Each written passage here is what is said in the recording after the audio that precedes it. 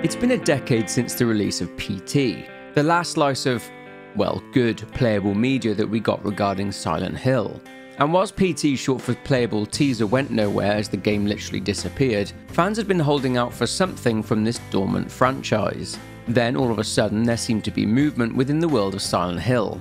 We had Ascension, which didn't go down very well. We've got a new mainline Silent Hill title named Silent Hill F, and we've also got the Silent Hill 2 remake to come sometime this year, being handled and developed by Bloober Team of Layers of Fear and Observer fame.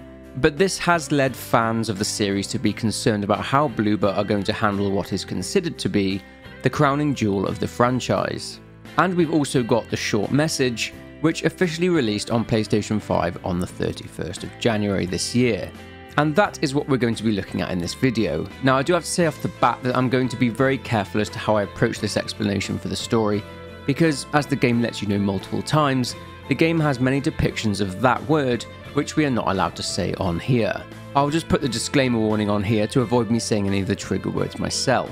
The story in the short message was okay, but it wasn't great. However, I did feel that the handling of said subject matter and its depiction of mental health in today's society in relation to social media was handled with sensitivity and was portrayed in an accurate manner. Because of certain depictions, there will be elements of this video that I'll be blurring out. But before we begin, please be aware that there will be spoilers in this video for the short message and potentially minor spoilers for Silent Hill in general. But with all that said, let's begin.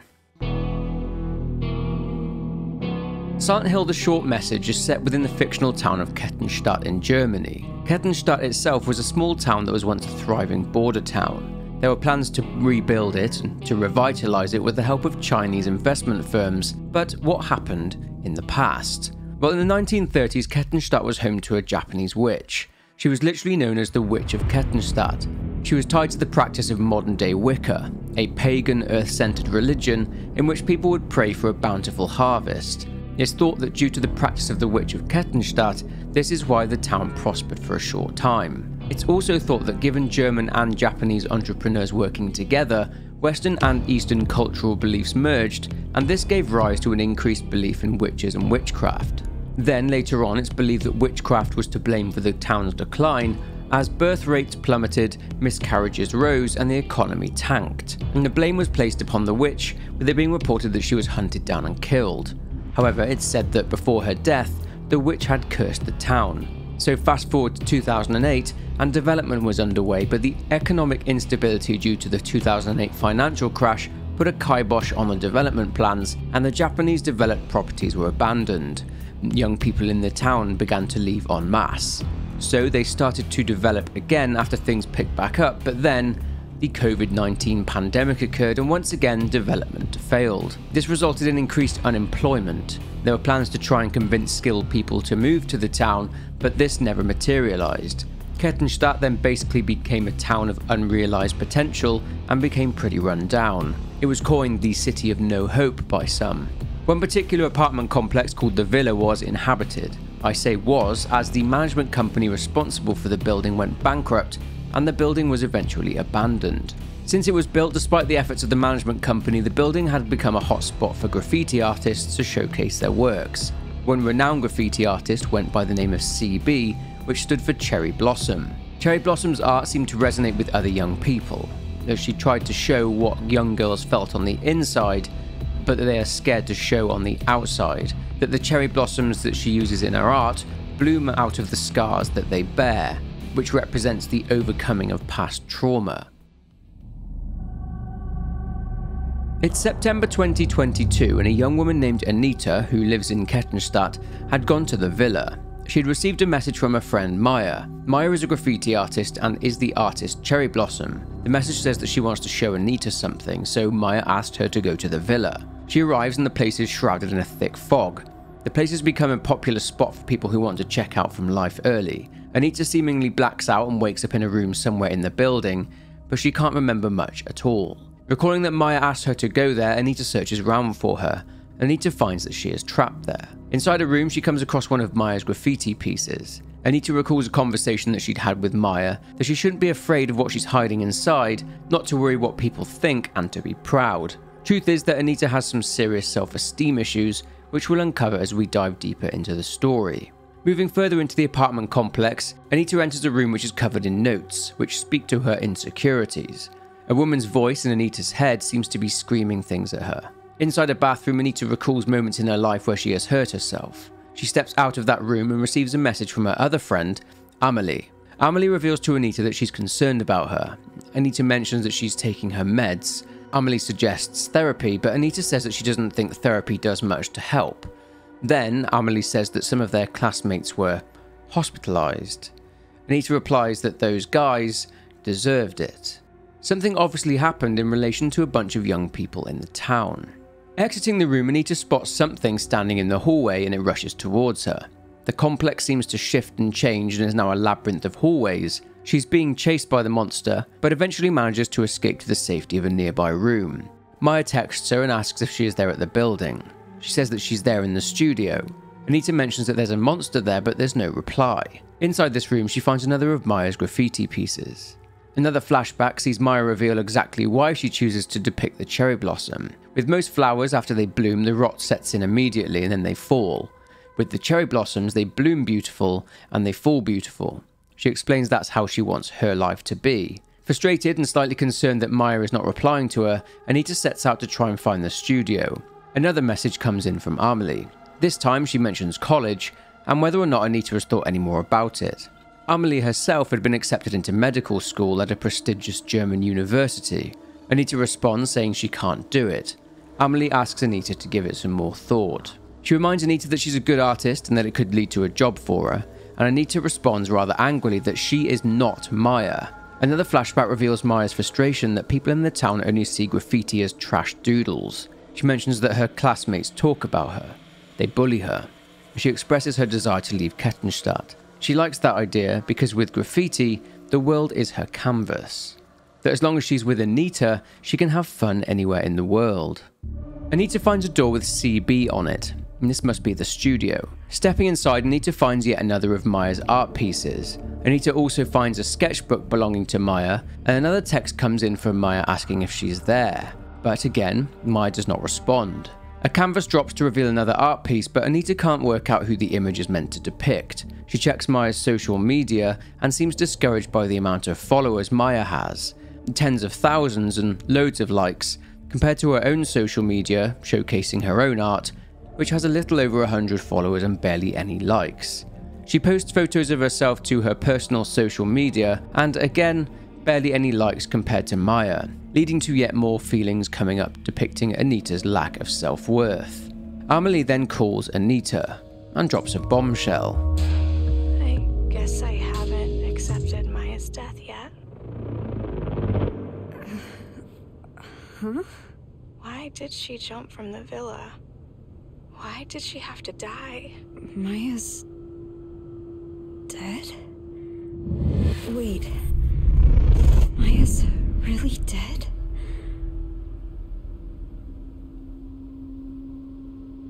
H- How? How could I forget that? Are you alright, Anita?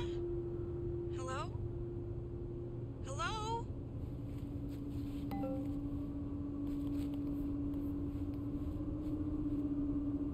Then. Who's this? Find it. Upon exiting the studio, once again Anita is chased by the monster. A closer look reveals that the creature is covered in cherry blossoms. Despite the creature's pursuit, Anita manages to evade it and makes it to the roof where she discovers another one of Maya's pieces of graffiti. This one seems to depict a journey to somewhere else. Before she died, Maya considered that one to be her masterpiece. Anita ponders the thought that no one will ever notice her. She steps onto the edge of the building and falls below. So it seems that Anita is trapped in some sort of loop. She wakes up and finds the villa now in an even more rundown state. Maya messages and asks if Anita found it. Trying to get her to elaborate, Maya, or whoever it is that is messaging Anita, says that she can't leave until she finds it. Messages are dotted around that echo words that Anita had been subjected to in her childhood. Checking on more of Maya's works while she wanders the apartments, she discovers they've been defaced and covered in insults. Anita is haunted by a depiction of bullies surrounding her and calling her names. These are likely the boys that Anita referred to in her messages to Amelie. They were potentially an online hate group, leaving hate comments on social media. Speaking of Amelie, she texts, and the previous conversation they had, well, it's gone. This really is a loop. Anita asks if Maya is really dead, and Amelie wonders why Anita is asking. She says that before her death, Maya talked about a book that she read. Anita then recalls a conversation she had with Maya. She mentions that the author of the book checked out early and that they were young. But instead of being sad, Maya seemed upbeat.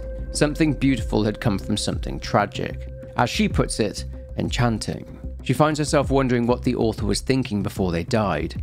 And Maya mentions that Anita wrote her a letter, which is an indication as to how shy Anita was.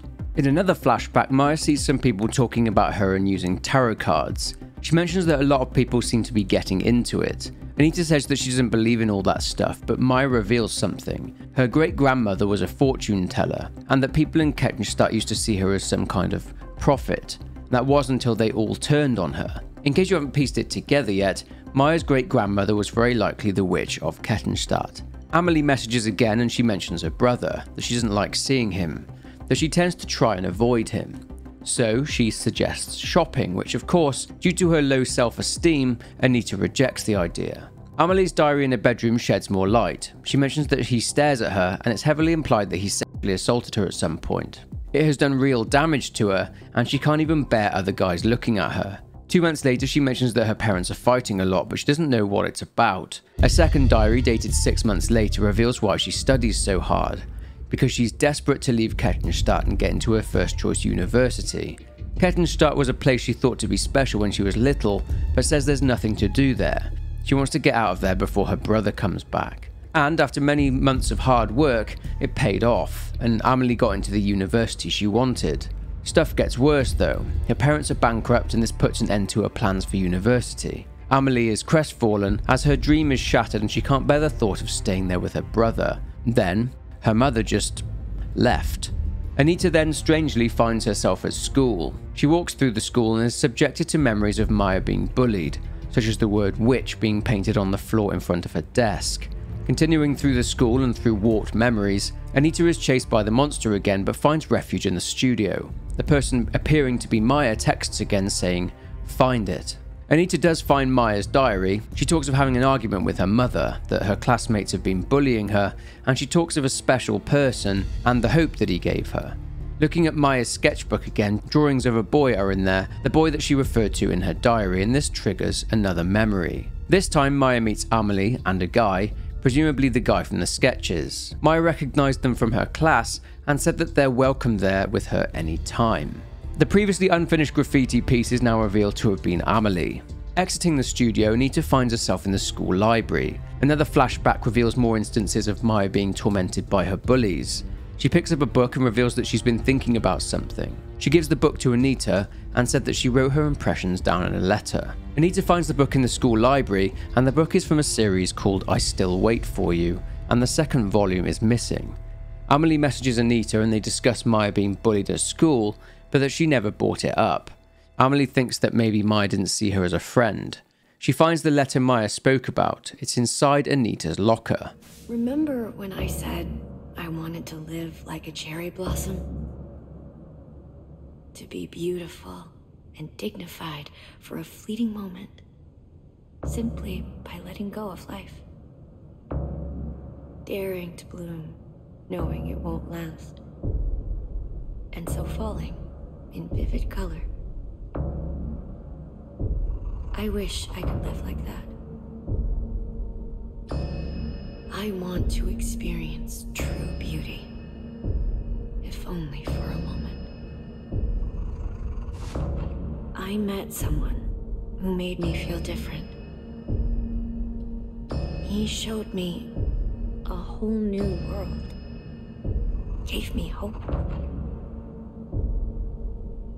I honestly thought he could help me find a new me. I felt it with all my heart. But people didn't understand us. Didn't want that from us. In the end, they took my hope from me. They took him away. People.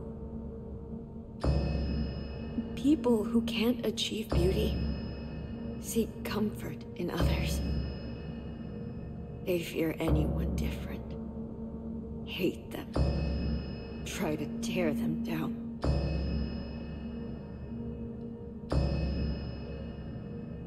I can't take much more of this. I wish you and I had. I wish you and I could run away together, Amelie. Just me and you. So it seems the bullies wanted to prevent the boy that Maya was talking about from seeing her, so they manipulated things. Anita remembers that Maya took Amelie from her and acted like she wasn't even there.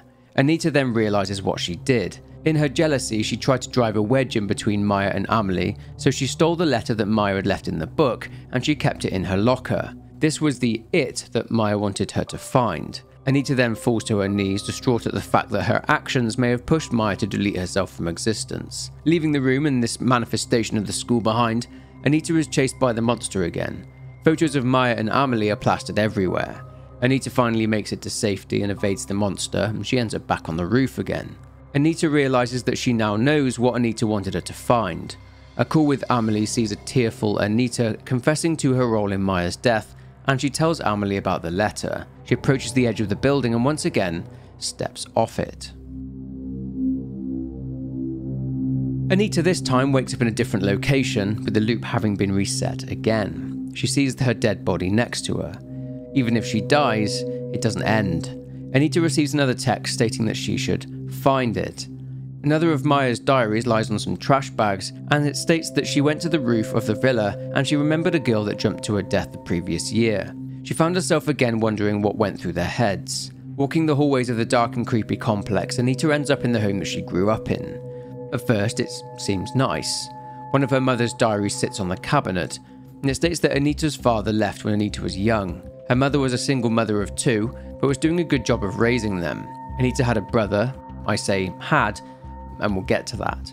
Then things began to fall apart when Anita's mother got a new boyfriend. The apartment became untidy, and due to Anita and her brother being cold towards this new boyfriend, their mother was worried that this would scare him off. Anita would draw a picture of their family, and the boyfriend wasn't in it. Nonetheless, Anita's mother is determined to raise her kids right, and not like her mother. Sometime later, Anita's mother writes that her boyfriend bought some pizza over, but that Anita hated it. Then, a few weeks later, she writes that her children were acting up in front of the boyfriend. She says that maybe if they don't see the light for a while, then maybe they'll see the light in him. And then the boyfriend would complain that the banging on the closet door was making it hard for him to unwind. Yep, the mother locked Anita and her brother in the closet. The mother says that she needs to figure something out, or she's going to lose him. By this point, the apartment was in a disgusting state. Seeing that the mother's boyfriend wasn't visiting as much, she would leave her kids in the closet and would go out. She wanted to clean the place but had no energy. Eventually, one of her neighbours called child services after they heard persistent crying coming from the apartment. The mother's boyfriend wasn't even calling her now, and she blamed her kids. She finishes by saying that she's done.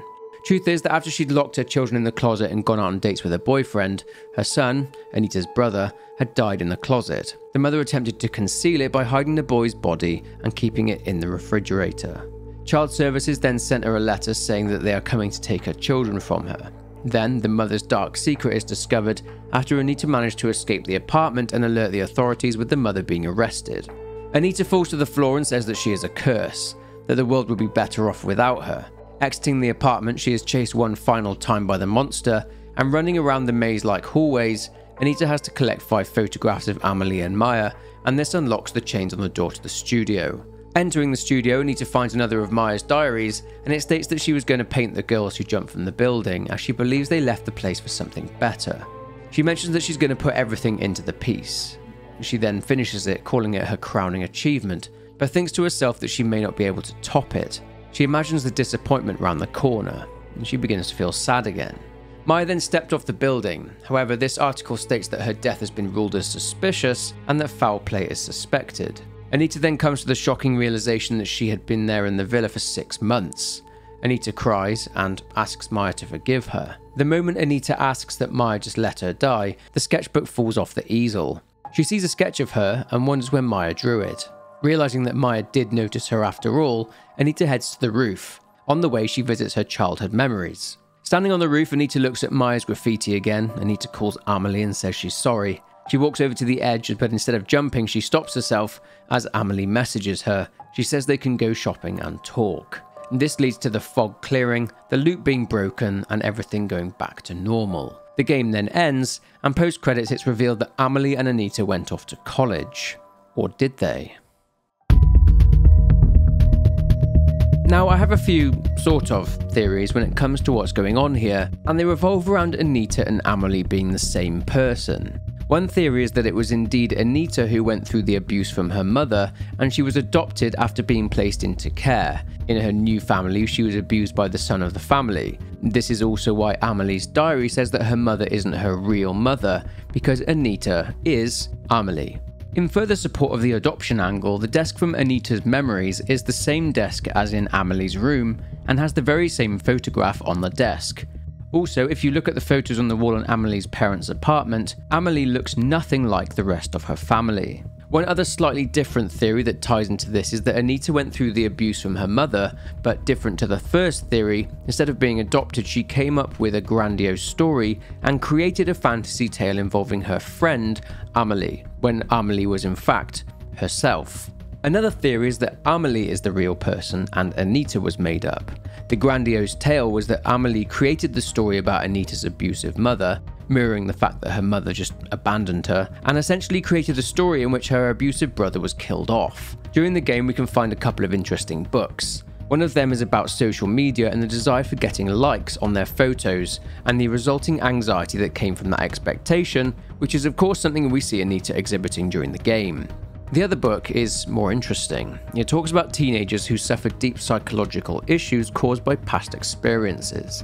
It states that all teenagers in the book conceptualize those issues as grandiose stories, or tales, as the book is titled Children Who Turn Trauma into Tales. A couple of examples are given, but the final page states that these tales are born out of a deep desire to escape unbearable pain and self hatred. The greater the trauma, the more elaborate or grandiose the story is. Given what happened to Anita when she was young, I'd say that she went through an extremely traumatic experience, and this deeply scarred her. Now, sure, it is entirely possible that both girls are indeed real with their own separate lives, but the parallels are there. First off, they look exactly the same. As for why Anita seemed to be so spiky when she was asked about going to college, it was either because she was so put off the idea after her adoptive parents went bankrupt, or her self esteem was so low that she didn't think she'd amount to anything. The friend that Maya apparently stole from Anita could have in fact been the guy Amelie was with in Flashback 6. After that flashback, Anita claims that Maya didn't even see her, that she was invisible to her. But she was there with the guy, not there with Amelie, because she is Amelie, if that makes sense. In another of the flashbacks, Maya talks about Anita writing her a letter. Of course, Anita didn't write a letter to Maya. Well, she did, but it was Amelie who wrote the letter. Maya mentions that Anita wrote a letter because she was shy, and in one of the flashbacks, Amelie can be seen and is very shy. In terms of the book, Anita had read the book herself. She states that she knows and recognizes the book when she sees it in the library. That's why the book was in Amelie's locker, even though she gave it to Anita in the seventh flashback because Amelie's locker is technically Anita's locker. Anita tried to push Maya to end herself, hence why she gave her the book to read, and why she placed razor blades inside Maya's locker. She didn't physically kill Maya, but she planted the idea in Maya's head that she should end herself. This is also why, when she's collecting the photos in the final chase sequence, she's hearing Amelie's words in her head, words that Amelie has been texting her, because those are her own thoughts. This is why, when Maya tried to get her to show what she was hiding inside, she said that she should be proud. Due to her own trauma, she'd either disassociated herself from it, or she'd simply forgotten about it due to the meds she was taking. At the end of the game, Anita says that Amelie had always been there for her. I think that's because they are the same person. And the final statement from Anita states that the strongest animals don't form groups, they act alone and need only themselves to survive. Despite this being false in general, this lends more weight to the theory that Amelie and Anita are the very same person, that Anita relies on the Amelie part of herself to bring out the best in her. Of course, this could be totally off, and as mentioned, Amelie and Anita could be individual people with their very own lives. If you agree with my theories, let me know by liking this video. Otherwise, share your own theory below, since this game can be interpreted many different ways. However, we are not done yet. So let's finish this video by talking about the Silent Hill phenomenon, as there are a few things which link this game well to Silent Hill. During the game, Anita can find a newspaper which features an article mentioning the Silent Hill phenomenon. It mentions that the rate for people ending themselves has risen, and that people report a strange fog appearing with people losing consciousness shortly afterwards. It talks about Silent Hill in Maine, USA, and an unnamed doctor stated that the fog appears to affect people who are psychologically unstable and appears when people are in a state of high stress. It blurs the line between illusion and reality. Cases have been increasing ever since the COVID 19 pandemic. The doctor calls for a strengthening and a stronger emphasis on mental health care for young people. A similar doctor, possibly even the very same one, wrote a document in Silent Hill 2 in which he wrote about observing a patient, that the patient was experiencing the other world, the rusty, decayed world of Silent Hill, but that at the same time, the doctor was not experiencing it himself. The Silent Hill wiki gives a great example of Laura being able to see and interact with James, but not seeing the horrors that he sees. There are also the drawings of the holes, Every time Anita progresses further into the other world, there is a drawing of a hole that gets bigger and rounder every time her loop restarts. Similar to the way the hole in Henry's bathroom gets bigger in Silent Hill 4. Like other Silent Hill games, the holes seem to represent the darkness in someone's heart, or facing the horror of the unknown. At one point, Anita says that she tried so hard to forget that place. The villa is forcing her to face her fears. It's entirely possible that the hole in the closet that Anita was supposedly locked in by her mother was an indication that there's a blurring between what's real and what's an illusion, which makes me lean more towards the theory that Amelie was the real person. There also seems to be symbols around the hole in the villa.